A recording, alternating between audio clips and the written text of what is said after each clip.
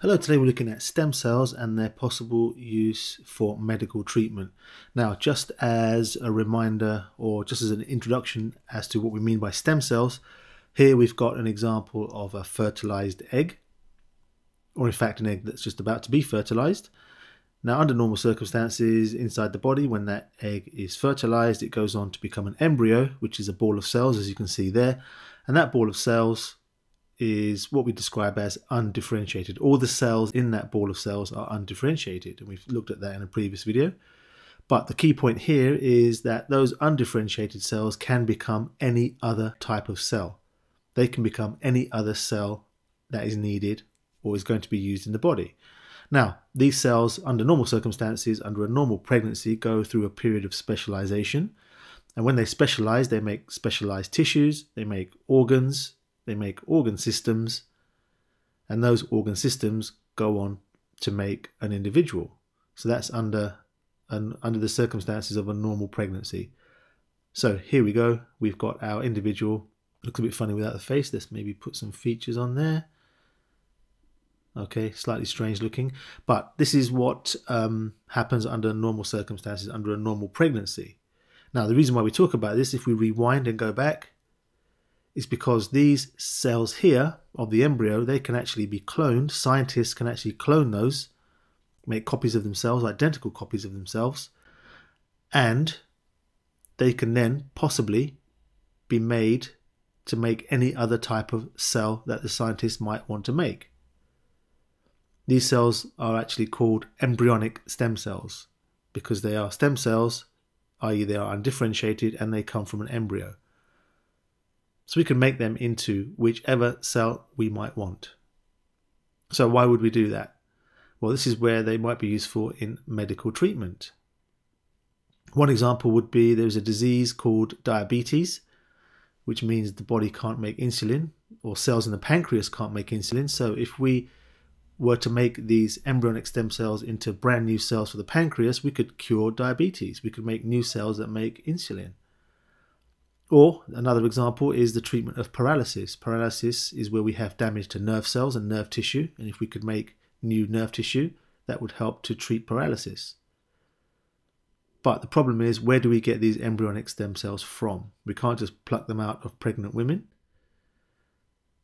But if we look at something like IVF treatment, which is to help uh, couples who can't have children, that's where we have the development of embryos, and we often make more embryos than are needed. And those embryos won't actually have a use if the mother becomes pregnant.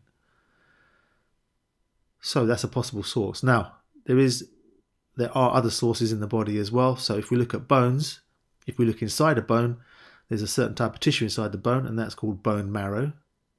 So we have bone marrow inside the bone, and that actually is a source of stem cells we call these adult stem cells that can be taken from the bone marrow of adults. Now, the issue with these, though, while it might seem like good news that we don't have to use embryos, the issue is that we can form many types of cells, but not all types of cells. Not all types of cells in the body can be made from adult stem cells.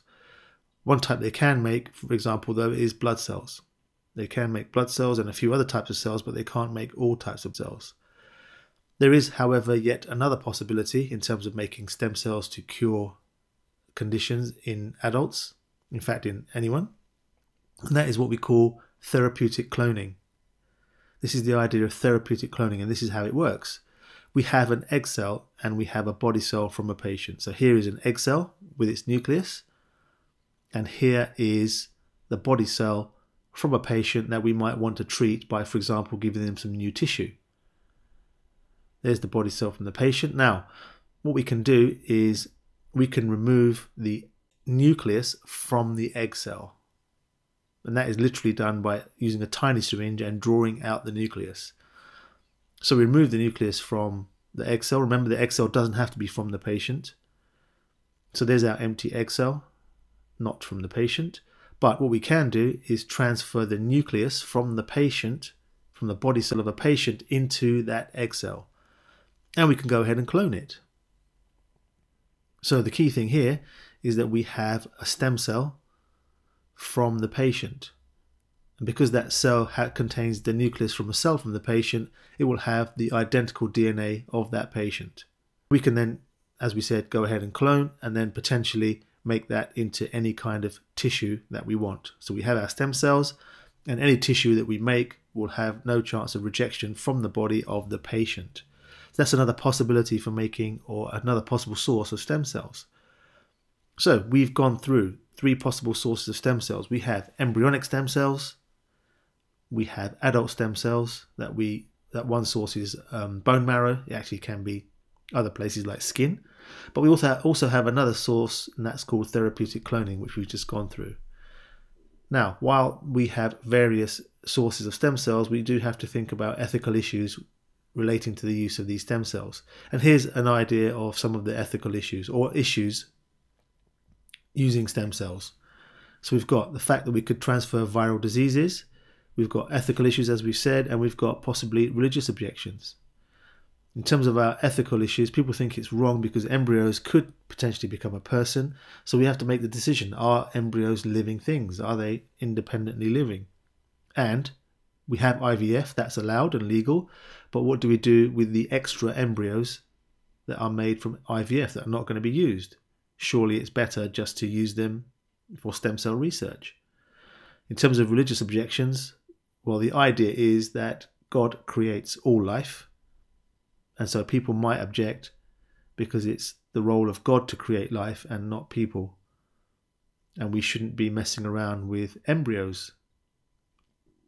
The key, question with the top point there, though, we could transfer viral disease, but do the benefits that we get outweigh the risk? If there's a 10% chance of transferring viral disease, that's a 90% chance that we could possibly cure a disease, for example, paralysis.